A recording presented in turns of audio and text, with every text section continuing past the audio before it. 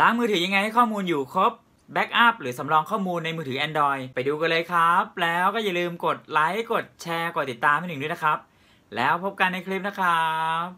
เดี๋ยวเรามาเริ่มกันเลยครับสำหรับใครที่อยากจะล้างโทรศัพท์มือถือของเรานะครับ แต่เราไม่อยากให้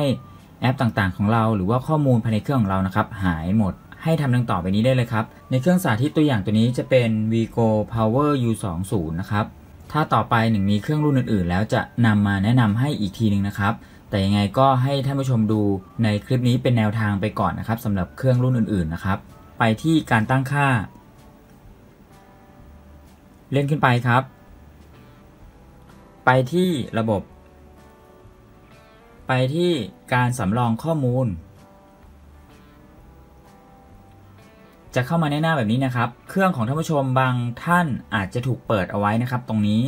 แต่ถ้าของใครเป็นแบบของหนึ่งก็คือยังไม่ได้เปิดนะครับ ให้กดเปิดตรงนี้ซะก่อนนะครับ เขาจะบอกว่าสำรองข้อมูลไปยัง Google Drive นะครับ ถ้าของใครยังไม่ได้เปิดแบบของหนึ่งแบบนี้นะครับ ให้กดเปิดแบบนี้นะครับ พอเปิดขึ้นมาปุ๊บนะครับ ให้เรามาดูตรงนี้ครับ บัญชี Gmail ของเราตัวนี้ครับ เราจะต้องจำ password ได้ด้วยนะครับ ตัวนี้นะครับ ให้เราจดไว้ก่อนก็ได้นะครับ username แล้วก็ password อะไรก็จดเอาไว้ด้วยนะครับ ตัวถัดมาครับเขาจะมีปุ่มตัวนี้ครับสำรองข้อมูลตัวนี้ครับ แล้วกดสำรองข้อมูล การสำรองข้อมูลในครั้งนี้นะครับ จะเป็นการสำรองข้อมูลทั้งหมดในตัวเครื่องเราเข้าไปอยู่ใน Google Drive นะครับ ซึ่งใน Google Drive เนี่ยจะสามารถเก็บข้อมูลฟรีให้เราได้ทั้งหมด 15 จิกนะครับ ถ้าเกินจาก 15 จิกแล้ว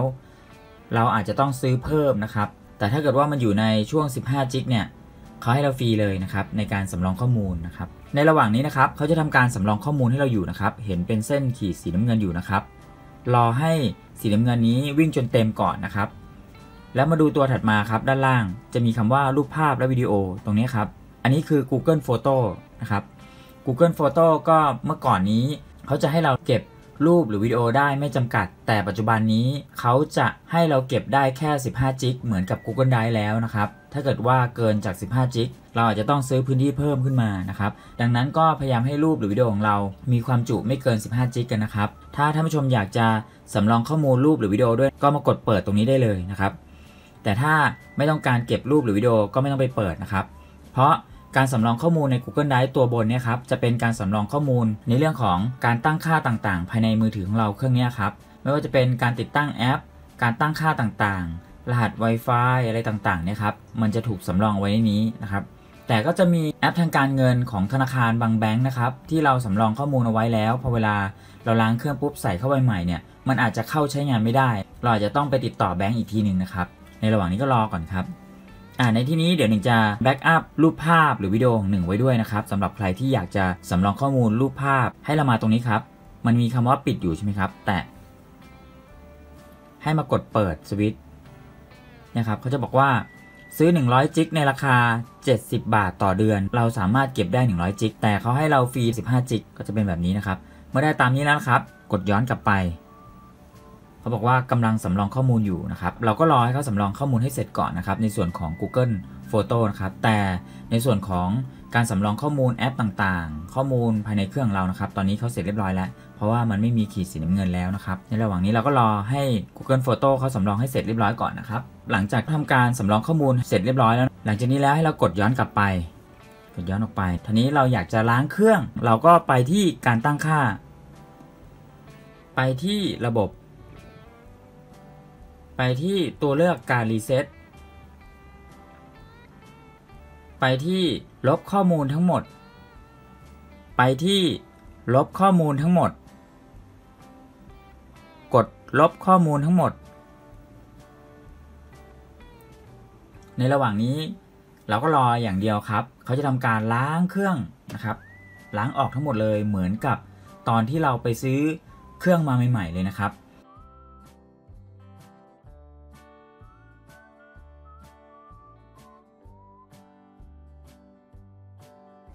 หลังจากที่ทำการล้างเครื่องออกหมดแล้วนะครับ จะเข้ามาในหน้าแบบนี้นะครับ ดังนั้นให้เราไปเซตการตั้งค่าต่างๆ ตามนี้ได้เลยครับ ให้ไปเลือกภาษาเลือกภาษาตามที่เราต้องการได้เลยนะครับ ในที่นี้ 1 จะเลือกเป็นภาษาไทยนะครับ กดเริ่ม เขาจะบอกว่าเชื่อมต่อเครือข่ายมือถือ ถ้าของท่านผู้ชมมีซิมการ์ดที่มีสัญญาณเน็ตอยู่แล้ว มันจะข้ามขั้นตอนนี้ไปได้เลยนะครับ แต่ในที่นี้ของหนึ่งไม่มีซิม ดังนั้นหนึ่งจะใช้สัญญาณ Wi-Fi นะครับ กดข้าม เลือกสัญญาณ Wi-Fi ที่บ้านเราครับ ใส่ password ลงไป กดเชื่อมต่อ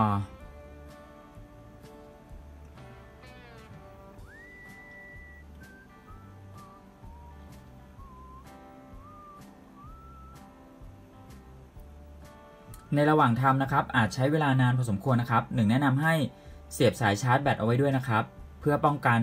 แบตเตอรี่ของเราหมด ในขณะที่เราทำการอัปเดตข้อมูลเครื่องของเราอยู่นะครับ ไม่งั้นเดี๋ยวข้อมูลเครื่องเราอาจจะมาไม่ครบ หรือว่าข้อมูลเสียหายได้นะครับ กดถัดไป เลือกข้อมูลสำรองจากคลาว d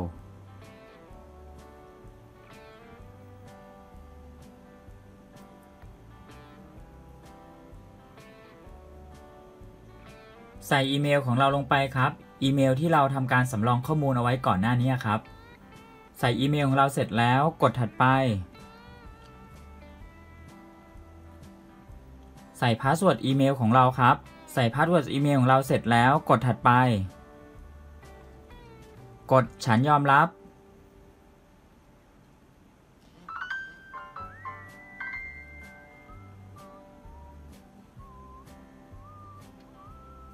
เขาจะมีตัวเลือกให้เราเลือกนะครับ ตามนี้นะครับ จะเห็นว่าจะมีข้อมูลสำรองจากเครื่องอื่นด้วยนะครับ ซึ่งในที่นี้นะครับ ถ้าเกิดว่าเราใช้บัญชี Gmail นี้กับมือถือเครื่องอื่นๆด้วย มันก็จะมาให้เราเห็นด้วยแบบนี้นะครับ แต่ในที่นี้นะครับ ก่อนหน้านี้เมื่อ 24 นาทีที่ผ่านมาตามเนี้ยครับ เราได้ทำการสำรองข้อมูลไว้ในมือถือ Vigo Power U20 เครื่องนี้นะครับ ดังนั้นเราก็เลือกตัวนี้ครับ ตัวล่าสุดของเราที่เราเพิ่งสำรองข้อมูลไปนะครับ กดเลือก เขาจะบอกตามนี้ครับ มีแอปทั้งหมด 13 แอป รายชื่อที่ติดต่อ การตั้งค่าอุปกรณ์ต่างๆ ก็คือรหัสผ่าน Wi-Fi ที่เราเคยไป login ที่ต่างๆครับ จะมาด้วยนะครับมันก็จะมีติ๊กเครื่องหมายถูกแบบนี้ ถ้าเราไม่เอาตัวไหนเราก็เอาเครื่องหมายถูกออกได้นะครับ อย่างเช่นแอปเนี่ยเราไม่อยากได้เราก็ออกก็ได้ หรือรายชื่อที่ติดต่อในเครื่องเนี่ยเราไม่อยากได้เราก็กดออกก็ได้ครับ อันนี้แล้วแต่ท่านผู้ชมนะครับ แต่ในที่นี้หนึ่งต้องการทั้งหมดนะครับ ก็เลือกทั้งหมดแบบนี้ หลังจากนี้แล้วเราก็มากดคืนค่า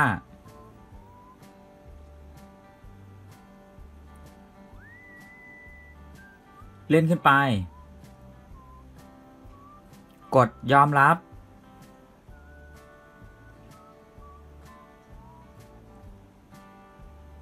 เขาจะให้เราใส่รหัสล็อกหน้าจอนะครับท่านผู้ชมอยากได้รหัสล็อกอะไรก็ใส่ลงไปเลยครับ ในที่นี้หนึ่งยังไม่ใส่นะครับ กดข้าม กดข้ามไปก่อน กดถัดไป กดถัดไป ในหน้านี้จะเป็นการเซตการตั้งค่าของ Google Assistant นะครับ ด้วยวิธีการพูดโอเค Google จำนวน 3 ครั้ง กดฉันยอมรับโอเค Google โอเค Google โอเค Google เขาจะบอกว่าดีมากแล้วขึ้นเครื่องหมายถูกแบบนี้นะครับ ถือว่าผ่านแล้วนะครับสำหรับการตั้งค่าของ Google Assistant นะครับ หลังจากนี้แล้วกดถัดไป กดถัดไป กดไว้ที่หลัง กดข้าม กดไม่เป็นไร กดต่อไป กดตกลง กดใช่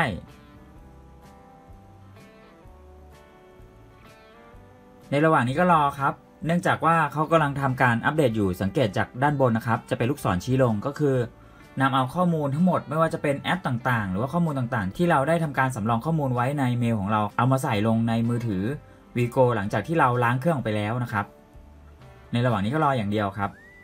ถ้าเกิดว่าเราเข้าไปปัดดูข้อมูลอะไรต่างๆ มันจะช้ามันจะอืด สาเหตุก็เป็นเพราะว่าเขากำลังดาวน์โหลดอยู่เนี่ยเห็นไหมครับนะครับในระหว่างนี้ก็รอนะครับ ถ้าเป็นไปได้แนะนำให้ท่านผู้ชมเอาสายชาร์จมาเสียบทิ้งไว้ได้เลยนะครับ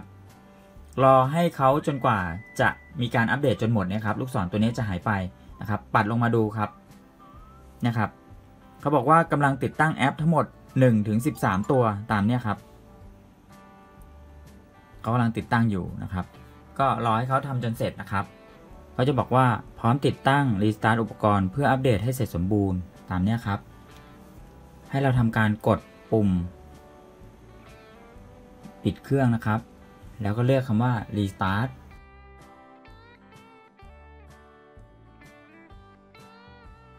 หลังจากที่เขาทำการรีสตาร์ทกลับมาแล้วนะครับทีนี้ให้เรามาดูตรงนี้เห็นไหมครับ Facebook แล้วก็แอปต่างๆของเรานะครับ มาหมดแล้วนะครับนะฮะ Call of Duty IG Messenger TikTok YouTube เนี่ยครับ Shopee Line นะครับ ตามนี้ครับ เห็นไหมครับเพียงเท่านี้เราก็สามารถ backup หรือสำรองข้อมูลในมือถือ Android ได้เป็นที่เรียบร้อยแล้ว พบกันใหม่ในคลิปต่อไปนะครับ ครูหนึ่งสอนดี และยังมีเคล็ดลับและเทคนิคดีๆอีกมากมาย เลือกดูได้ที่ playlist ที่ช่องครูหนึ่งสอนดีได้เลยนะครับ ที่สำคัญ อย่าลืมแชร์ออกไปแบ่งปันให้กับเพื่อนๆกันด้วยนะครับ จะได้เกิดประโยชน์กับเพื่อนๆร่วมกัน พบกันใหม่ในคลิปต่อไปนะครับ ครูหนึ่งสอนดี สวัสดีครับ